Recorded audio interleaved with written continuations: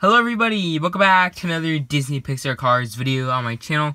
I hope you guys are having a fantastic day and welcome back. And in today's video, we're going to be taking a look at Hot Rod River Scott from the Disney Pixar Cars 2021 Diecast series. Now, of course, this is new for 2021. I believe he was either in case B or case C. So that is very amazing. I am extremely happy to, that I got this guy uh, that I found him in a store. So that is very, very amazing. But yeah, let's just get straight into the review.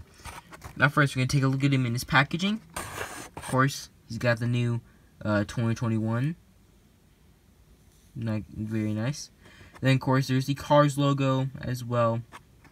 He's only like the Desert Horizon packaging or Yellow Desert Horizon, whatever they whatever they're calling it. Desert Fade Horizon.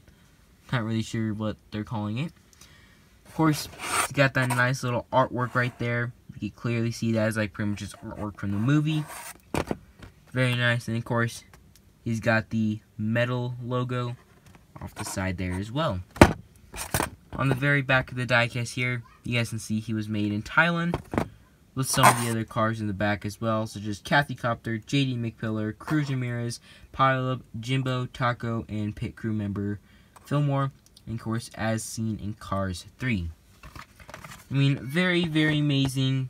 Can't wait to get this guy open, and let's do it right now. Straight into the unboxing. Okay, everybody, so here we have Hot Rod River Scott outside of the package.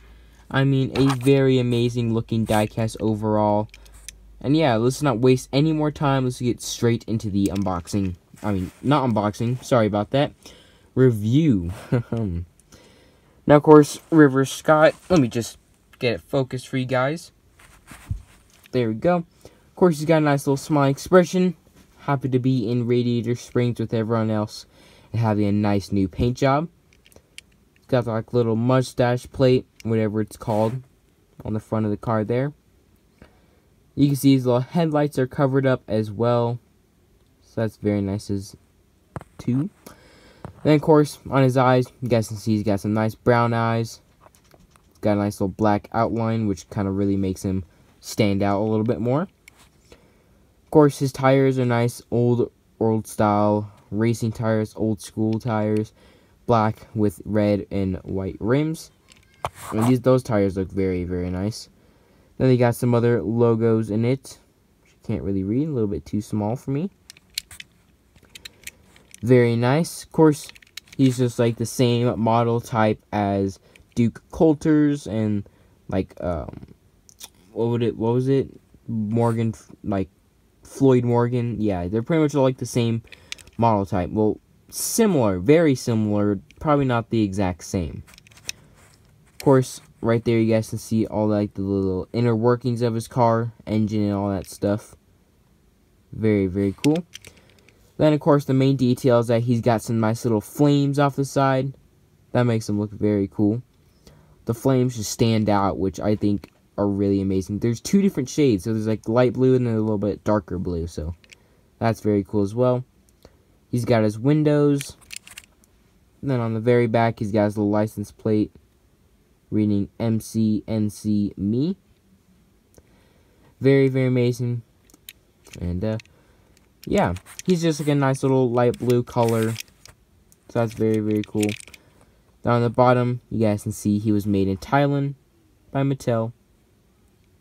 Very, very nice.